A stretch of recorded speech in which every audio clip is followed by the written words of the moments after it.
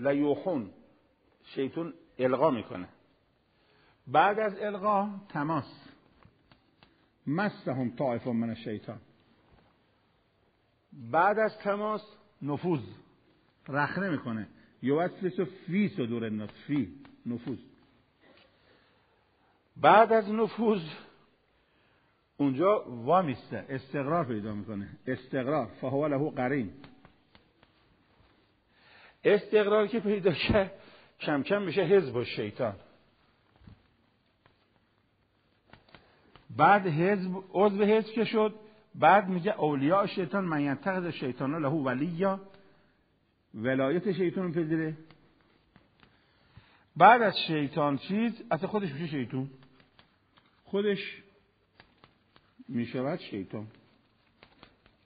یعنی این گام به گامه. این سیاست گام به گام همه شمایه داریم ما. این کلمات که نوشتم چون پا تلویزیون همه قرآنی که نیستن که. هر کلمش از قرآنه. حالا بره قرآنی ها میگم. کلمه القا قرآن میگه القا شیطان فی امنیته. القا یعنی یه چیزی رو به ذهن آدم تلنگر می‌زنه. تماس مسهش طائفه من شیطان مسته این تماس می‌گیره. نفوذ این دیگه شما حفظید. تو فی.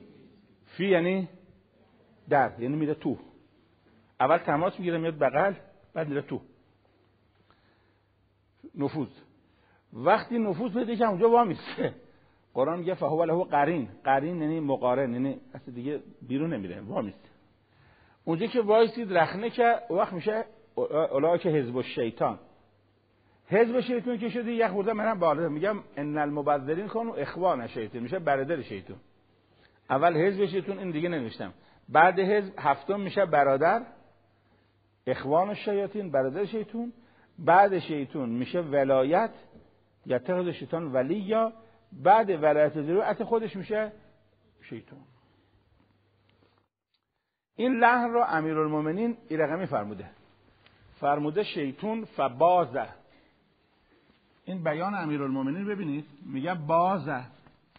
بازه یعنی تخم گذاره می‌ذاره. بازه. بیزه تخم, ریزی می‌کنه شیطون. بازه. بعد از بازه میگه فرخه. فرخه. فرخه یعنی جوجه میده. تخم ریزی می‌کنه بعد جوجه میده. بازه. فرخه. بعد میگه دبه. دبه یعنی به جنب جوش در میاد. حرکت می‌کنه دبه. بعد میگه درجه. رشد پیدا می‌کنه. درجه. بعد میفرماد که فنظر به اعیانهم کم کم جور میشه نظر به اعیانهم نگاه ها شیطونی میشه. و نتقه به السانتهم اصلا حرفایی که می‌زنه همش انگار بلنگویه یعنی انگار حلقوم شیطون پشت زبونشه.